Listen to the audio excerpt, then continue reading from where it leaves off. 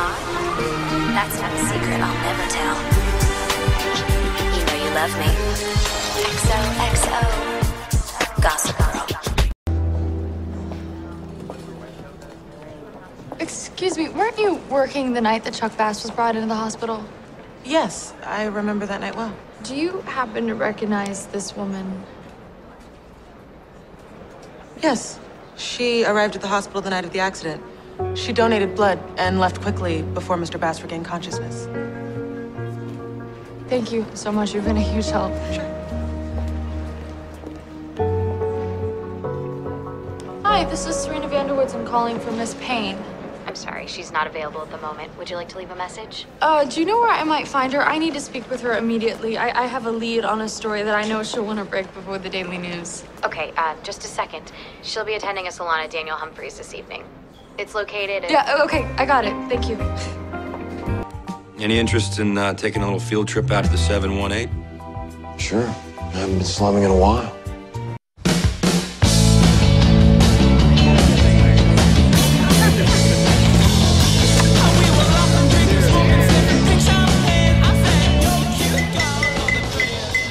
Welcome, everybody.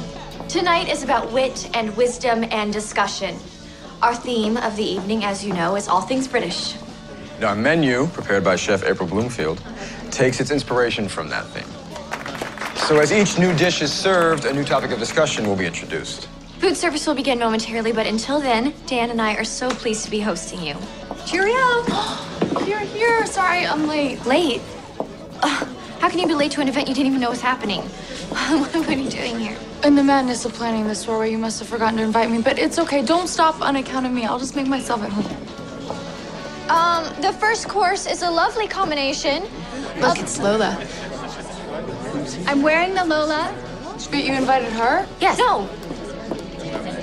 Talk amongst yourselves. Dan and I will be back in 11 minutes.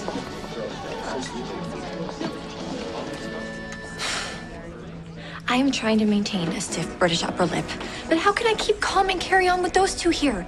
Uh, Serena will spend the whole night judging us, and Lola is probably just trying to squeeze every last drop of free press out of the night so she can move on from the community theater circuit. Blair, our salon can easily handle a few party crashers, and besides, you should be at least a little flattered that they both made it all the way to Brooklyn to check it out. Look, tonight is going to be great. Deal.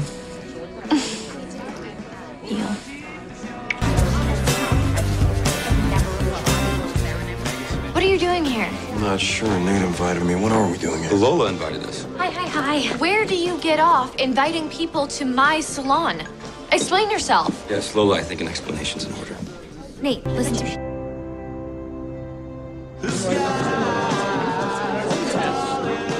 Entrees are almost ready, but I've run out of ice, and I need the ice to finish off my dessert and my special cocktail. I think Meryl Streep is the perfect. In the world of the novel, London has become the very idea of the big city. I need to speak with you. Excuse me.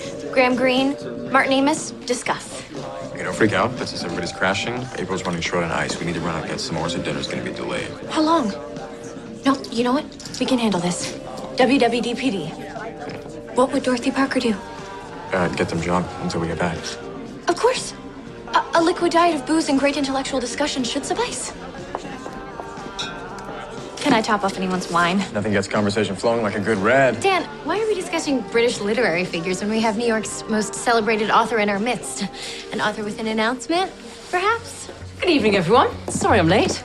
Oh, Diana, just the person I was hoping to see. Do you, do you have a moment to speak privately? Sure. And we're off to get the ice.